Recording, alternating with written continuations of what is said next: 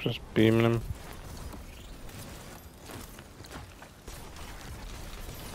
hey yo! Look what he's got! Oh my god! Icebreaker him the hell out of it. Uh, shot, shot the guy with icebreaker went flying across the